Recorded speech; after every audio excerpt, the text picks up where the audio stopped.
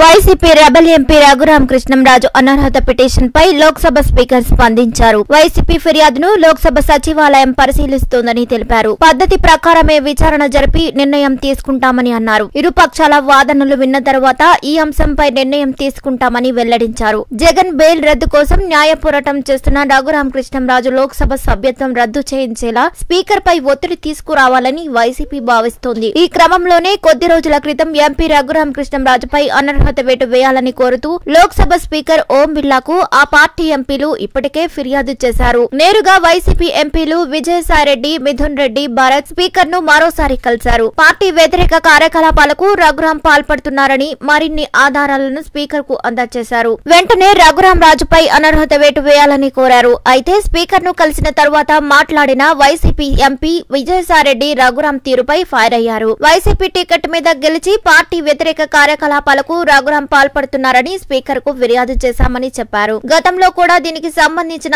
ఆధారాలను స్పీకర్కు అందించామని తెలిపారు. అయితే ఇదే విషయంపై లోక్సభ స్పీకర్ ఓం బిర్లా మీడియా సమావేశం ఏర్పాటు చేశారు. అయితే ఈ సందర్భంగా ఏపీకి సంబంధించిన రఘురామకృష్ణంరాజు అనర్హత వేటు వేయకపోతే సభను స్తంభింపచేస్తాం. స్పీకర్ పక్షపాతంతో వ్యవహరిస్తున్నారు అంటూ విజయసాయిరెడ్డి చేసిన వ్యాఖ్యలపై విలేకరులు అడగగా స్పీకర్ ఓం బిర్లా స్పందించారు. వైసీపీ రఘురామకృష్ణంరాజు అనర్హత పిటిషన్ పై స్పంది స్పందిస్తూ ఎవరైనా ఒక సభ్యుడిపైన అనర్హత వేటు వేయాలి అంటూ పిటిషన్ ఇస్తే దానికి సంబంధించి ఒక ప్రక్రియ ఉంటుందని ఆ ప్రక్రియ ప్రకారమే మొత్తం జరుగుతుందని ఓం బిర్లా అన్నారు. అంతేకాని దీనిపై ఏం జరుగుతుందంటూ రన్నింగ్ కామెంటరీ చేయలేమని ఆ ప్రక్రియ ఎలా ఉంటుందో అందరికీ తెలుసని తాము ఏ నిర్ణయం తీసుకున్నా కూడా ఇరు పక్షాల వాదనలు తప్పకుండా వింటామని ఎవరి వాదనలు విడకుండా లేదా ఒకరి వాదనలే విని నిర్ణయాలు తీసుకోమని స్పీకర్ ఓం బిర్లా తెలిపారు. తప్పకుండా ఇదంతా నిబంధనల ప్రకారం ఈ ప్రక్రియ కొనసాగుతుందని ఆయన తెలియజేశారు. అంతేకాకుండా విజయసాయిరెడ్డి మాట్లాడుతూ స్పీకర్ పక్షపాతంతో వ్యవహరిస్తున్నారు.